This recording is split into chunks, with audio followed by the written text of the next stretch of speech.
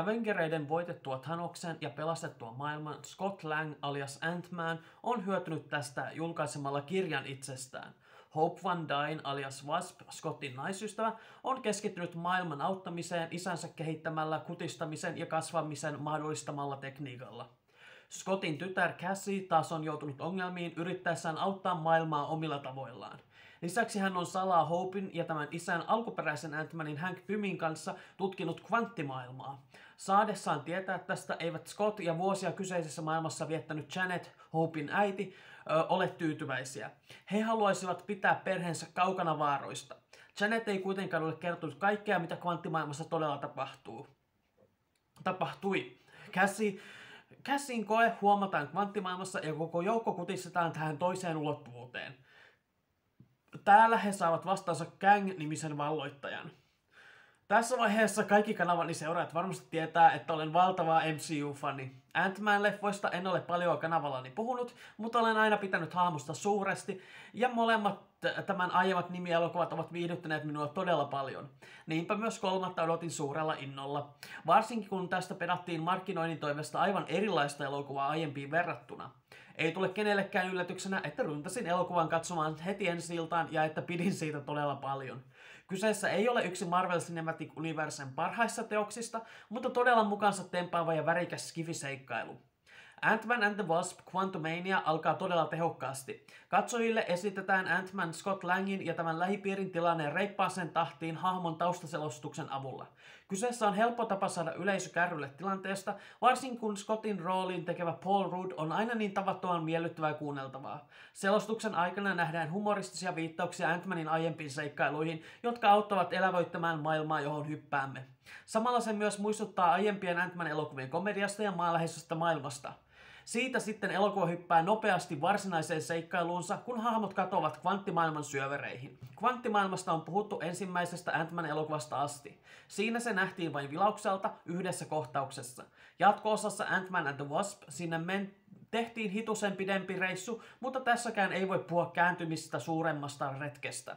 Niinpä tuntuu, että so- sopivalta, että kolmannessa elokuvassa tänne sitten sukelletaan oikein urakalla.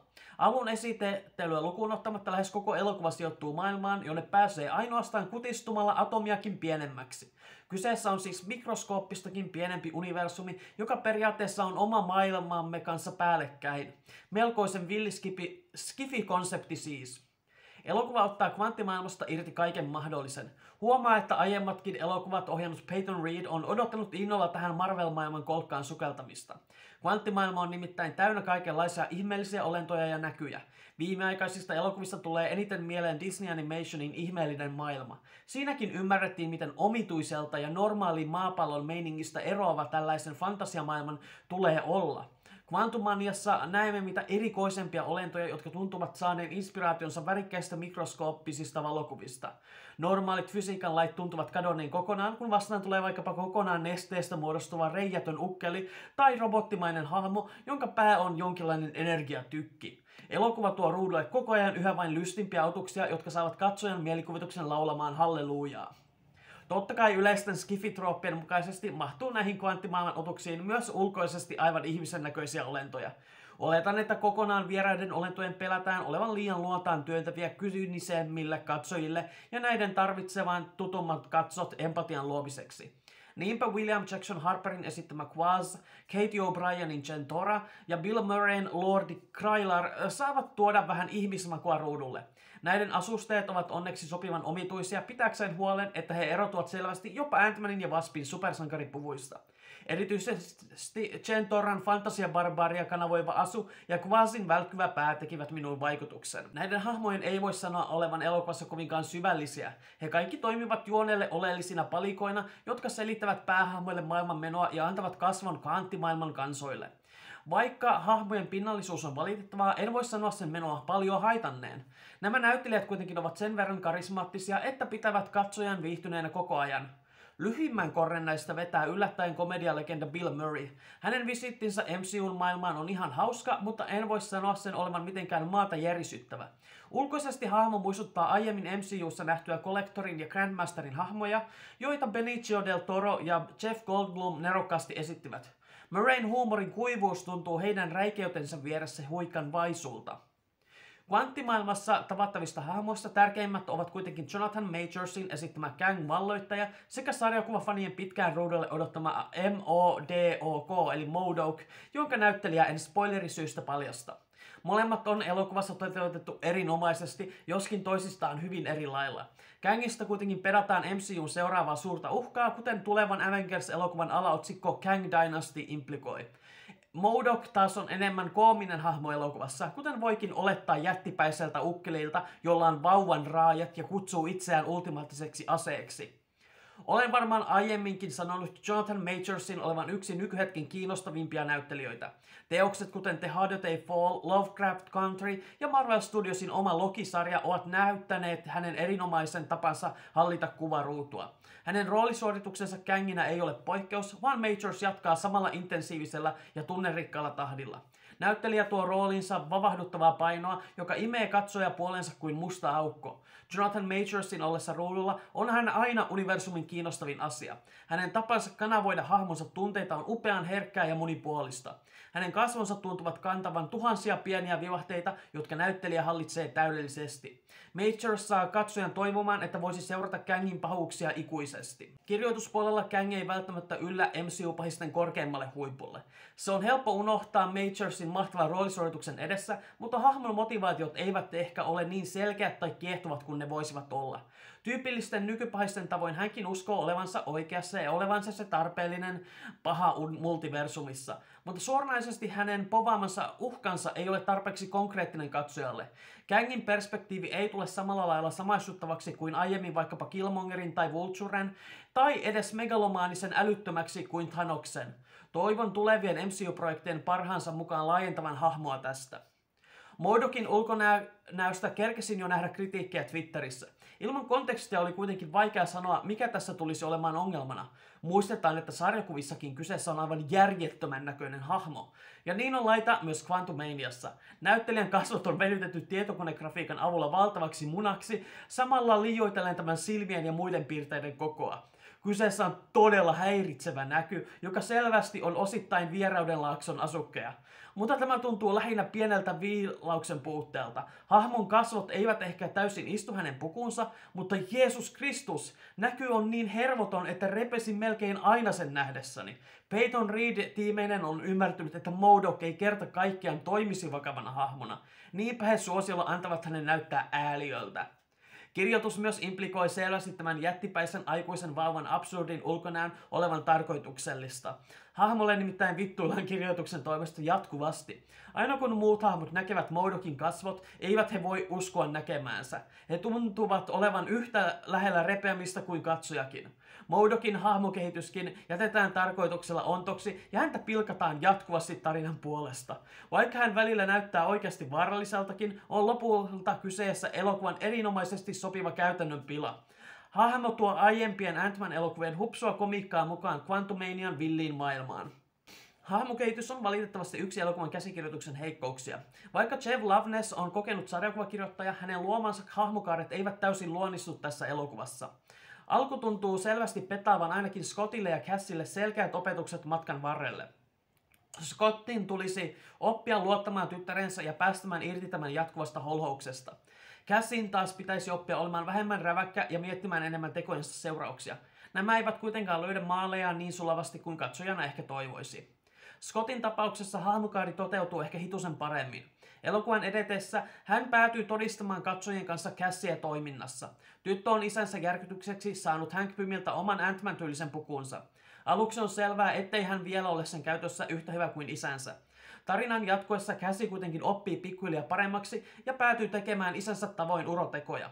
Katsoja saa todistaa näitä Scottin kanssa, mutta lopussa jokin tuntuu jäävän uupumaan. Tiedän kyllä tismalleen kohdan, jossa Scottin on tarkoitus tunnustaa kasvunsa ja uusi luottamuksensa tyttärensä, mutta kenties elokuvan hektisyyden takia en rekisteröinyt sitä kunnolla saman tien. Myös se, että Scottille annetaan toisiakin mahdollisia hahmokaaria, vaikuttaa asiaan. Cassie nimittäin kritisoi elokuvan alussa isänsä ihmisten auttamisen lopettamista. Scott kyllä osallistui maailman pelastamiseen ja Thanoksen kaatamiseen, mutta on sen jälkeen auttanut vain itseään. Ja nyt kun käsi yrittää aktiivisesti saada aikaan muutosta, saa hän vain toruja isältään vääristä metodeista. Scottin pitäisi oppia katsomaan omaa lähipiiriään pidemmälle. Isänsä Isänä hän keskittyy luonnollisesti oman perheensä auttamiseen ensin, mutta se ei tarkoita, että muiden hädälle saisi kääntää selkänsä. Tässä Scott pääsee pi- a- pisteestä A pisteeseen C käymättä ensin kunnolla b Ainakin elokuvan hektisyyden vuoksi tuntuu, että emme näe, miten hän mielensä asian suhteen muuttaa. Käsin metodeista hän sentään oppii ymmärtämään kohtauksessa, jossa löytää itsensä ja tyttärensä samankaltaisesta pulasta. Cassin hahmokaaren puuto on erikoinen tapaus. Kuten sanottu, alun petaus tuntuu implikoivan, että hänen pitäisi oppia olemaan aktivismissaan vähemmän autoriteettia uhmaava. Tai ainakin niin luulin. Loput elokuvan tekstistä eivät kuitenkaan tue tätä. Kvanttimaailman auktoriteetit ovat vielä pahempia kuin ne, mitä hän kohtasi normaalissa maailmassa. Ja elokuvassa hän päätyy auttamaan kvanttimaailman kapinallisia taistelemaan valloittajiaan vastaan.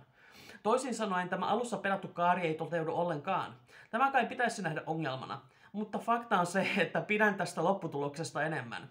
Kun elokuvan alussa kerrotaan käsin joutuneen pidätetyksi mielenosoituksessa, pidin hahmoa ihailtavana. Hän jopa sanoo poliisin sumuttaneen häntä ja aktivistitovereitaan pippurisumutteella, kuten Suomen poliisikin teki elokapinalle vuosi pari sitten. Pelkäsin elokuvan ottavan tästä saappaita nuolevan kannan, kun Scott toruu tytärtään vankilaan joutumisesta. MCUta kritisoidaan paljon siitä, ettei se uskalla haastaa status quota. Tämän takia oli hienoa nähdä, että elokuva nimenomaan kannustaa kapinointiin, kun sille on aihetta. Ja faktahan on se, että jos poliisin antaa vastata väkivallalla, vaikka vain sumuttamalla väkivallattomaan toimintaan, niin he yrittävät seuraavaksi jotain vielä voimakkaampaa. Kvanttimaailma on esimerkki siitä, mihin poliisin valvomattomuus johtaa. Näin ollen olen sitä mieltä, että vaikka Cassille olisi ollut kiva saada hahmokaari, olen onnellinen, ettei se ollut se, miltä se alussa näytti olevan. Cassie on totta kai nähty aiemmissa Ant-Man-elokuvissa pikkutyttönä Abby Ryder Fordsonin esittämänä ja Avengers Endgame-elokuvassa Emma Furmanin esittämänä. Ikävöin kyllä Fordsonin nerokasta roolisuoritusta, mutta ymmärrän, että hän on liian nuori esittämään Cassieitä, josta on kasvanut jo nuori nainen. On myös mielestäni sääli, että Furman menetti roolin ilman mitään kunnollista selitystä. Vaikuttaa siltä, että Marvel Studios ei ole hoitanut asiaa kovinkaan asiallisesti. Ymmärrän, että käsin rooli Endgameissa oli hyvin pieni, mutta en silti oikein tiedä, miksei Marvel Studios olisi voinut silloin jo valita roolin näyttelijä, jonka kanssa olisi halunnut jatkaa. Joka tapauksessa Catherine Newton astuu nyt käsilangin rooliin. Roolivalinta itsessään oli minusta erinomainen ja odotin sitä innolla. Newton nimittäin oli erinomainen Freaky-nimisessä kauhukomediassa sekä erittäin ilahduttava presenssi Pokemon Detective Pikachu-elokuvassa. Myös tässä hän näyttää tähtivoimansa. Nyt on suorastaan säihkyy käsiinä läpi elokuvan. Heti kun hän astuu ruudulle, tuo hän elokuvaan tuoretta energiaa. Newtonin ovella virne ja tappa kanavoida hahmonsa oikeudentajua on aivan erinomaista. Hänen kemiansa Scott Langia esittävän Paul Rudin kanssa on erinomainen, saaden elokuvan isätytärhetket tuntumaan todella lämpimiltä. Odotan innolla käsiin tulevaisuutta MCUssa. Ant-Man and the Wasp Quantumania-elokuvan toinen nimihahmo Wasp jää vähemmälle huomiolle elokuvassa. Jotkut jopa ovat sanoneet sen viittaavan Evangeline Lilin esittämän Hope Van Dynen sijaan alkuperäiseen Waspiin Michelle Pfeifferin esittämään Janettiin. Tämä tämän suuremman ruutuajan vuoksi. Hope ei saa myöskään kunnollista hahmokarta, vaan pysyy kutakuinkin samanlaisena läpi elokuvan. Hänen mielenmaisemaa ei kuvata erityisen paljon, mitä nyt muutamassa kohdassa päästään nauttimaan hänen erinomaisesta kemiastaan vanhempiensa kanssa. Lili on roolissa edelleen erinomainen. Hänellä on sama itsevarma presenssi kuin aiemmissakin elokuvissa ja saa tästä vielä kanavoida vähän enemmän Hopen tyytärmäisiä piirteitä joutuessaan kuuntelemaan vanhempiensa kommentteja seksielämästä. Myös hänen kohtauksensa Paul Ruddin kanssa lämmittävät sydäntä. Tuntuu kuitenkin, että he vain jatkavat hahmoillaan siitä, mihin aiemmin jäivät, eikä heidän suhteensa erityisemmin kehity. Väkisinkin alan miettimään, olisiko heidän yhteisiä kohtauksia jäänyt leikkauspöydällä pois. Lilin viimeaikaiset perseilyn kautta. Valitettavasti hänkin on osoittanut covid-rokotteita epäileväksi tontuksi, joten ymmärrän, jos Marvel Studios haluaa ottaa hiukan etäisyyttä häneen. Hahmojen kannalta toivon kuitenkin vähän lisää ruutuaikaa Hopelle jatkossakin. Michelle Pfeiffer on erinomainen Janetin roolissa. Hänet vasta esiteltiin edellisessä Ant-Man-elokuvassa ja on siksi hienoa, miten paljon tämä elokuva panostaa Janettiin. Sarjakuvafanille hahmo on erittäin tärkeä, sillä Janet Van Dyne on yksi Avengers-ryhmän perustajajäsenistä lähdeteoksissa. Niissä hän jopa keksi ryhmän nimen. Pfeiffer onnistuu erinomaisesti näyttämään hahmonsa kovuutta, lämpöä ja huumorintajua. Hän on yksi elokuvan säihkyvimpiä tähtiä, aivan kuten sarjakuvahahmo ansaitseekin. Elokuva saa jopa toivomaan, että näkisimme jonkinlaisen menneisyyteen sijoittuvan spesiaalin Janetin ja Hank Pymin seikkailuista Waspina ja Antmanina. Tosin Pfeiffer ja Michael Douglas eivät kyllä enää kovin luontevasti pysty toimintakohtauksia tekemään. Ant-Man and the Wasp Quantumania on puhdasta huppia. Se liikkuu todella rivakasti eteenpäin, mutta tarjoten koko ajan katsojille jotain kiinnostavaa katseltavaa. Kvanttimaailma on toteutettu erinomaisesti, ottaen täyden ilon irti Skifi-fantasian tarjoamista mahdollisuuksista. Hahmot ovat todella rakastettavia, eikä vähintään siksi, että näyttelijät tekevät erinomaista työtä. Catherine Newton ja Jonathan Majors loikkaavat MCU-hun voimalla, joka saa toivomaan heille pitkää taivalta sarjakuvahahmojen parissa. Kirjoituksen osalta elokuva on osittain liian sekava, varsinkin mitä tulee hahmokaariin. Sivuhahmot jäävät pinnallisiksi. Kokonaisuus on kuitenkin ihastuttavan miellyttävää katsottavaa. Ant-Man and the Wasp Quantumania on elokuva, jota katsellessa on helppo jättää arjen kurjuus taakseen ja uppoutua supersankarifantasioiden lämpöön. Mutta lämpöhän saa myös teidän positiivisista ja rohkaisevista kommenteistanne. Mitä mieltä te olitte kolmannesta Ant-Man elokuvasta tai aiemmista? Toimivatko Kang ja Modok? Kaipasitteko lisää houppia? Missä haluaisitte nähdä pienet sankarimme seuraavan kerran? Kerro painettua sun peukkua, tilanappia ja kelloa. Muista jakaa videota muillekin Marvel-hulluille. Tsekkaa myös Marvel Podcast Suomesta lisää keskustelua leffasta ja leffamedia.fi-sivustolta muiden mietteitä. Rakkautta ja kunnioitusta kaikille.